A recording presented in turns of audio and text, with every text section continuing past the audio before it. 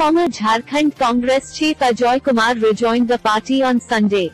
Congress chief Sonia Gandhi approved Ajoy Kumar's return to the party fold after he quit the Aam Aadmi Party AAP. Congress President has approved the proposal for rejoining of Ajoy Kumar, ex-MP and former President of Jharkhand PCC, to the Congress Party, AICC General Secretary KC Venugopal said. Senior Congress leader Jairam Ramesh welcomed Kumar in the party through a tweet.